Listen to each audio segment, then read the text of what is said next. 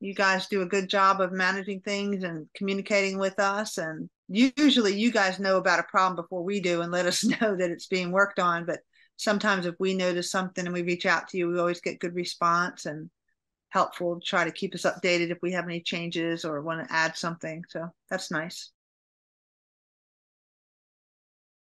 A lot of our new patients say Google. And then patients that don't say Google say, I heard about you from blank. And then I looked you up on Google, the highest ranking or the one with the most stars or whatever. So it's definitely um, it's definitely helping us acquire good patients.